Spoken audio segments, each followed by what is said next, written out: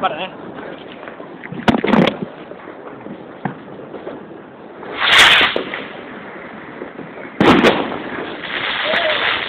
Más.